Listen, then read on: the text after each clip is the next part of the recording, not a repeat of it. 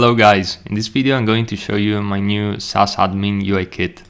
So the UI kit is composed of three different sections, which is the main dashboards UI kit, which is 24 screens. Then we're having the onboarding and the login screens, uh, which are 12 in total.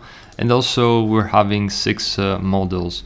On top of that, uh, the whole UI kit is connected to a main symbols page in which you can find not only the symbols but also the text uh, and the color styles which uh, will allow you to tweak uh, the colors and the text in a very very quick way.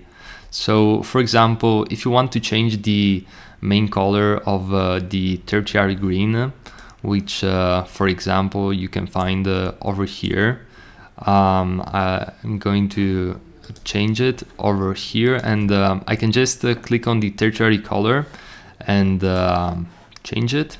And uh, once I do that I simply have to click on the refresh button and uh, automatically it will be updated throughout uh, all the screens uh, in which uh, are using the greens. So this includes also the call to actions and many other elements. So I'm just gonna un quickly undo that. And um, we can also, for example, change the header color from the symbols in a very quick way. I just have to double select that. And uh, I'm just gonna select one. And um, yeah I don't even need to click on uh, reload and uh, it will be automatically updated throughout the all UI kit. So as you can see this uh, allows you to make changes very very quickly and um, that was my main goal with uh, the creation of this kit.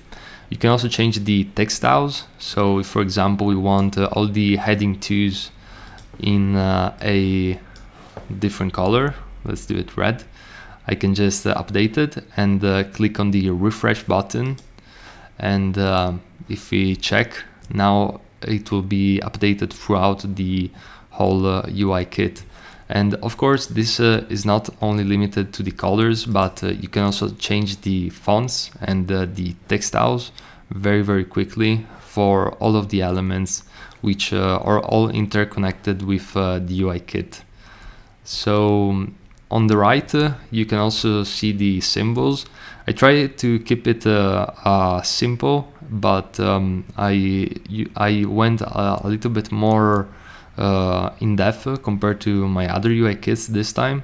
So we're having the main icons, which are Google material icons. And um, I also kept the all the CTAs into symbols, the headers, uh, the logo which is connected to the header, and uh, also in many screens uh, I use the symbols so that you can uh, quickly change uh, the elements and this will allow you to make uh, improvements and uh, make changes according to your specific uh, needs uh, in a very very quick way. So this is it uh, for this video. If you have any questions uh, feel free to um, reach me out at my email at uh, gigliopierluigi at gmail.com or through my website which is pierluigigiglio.com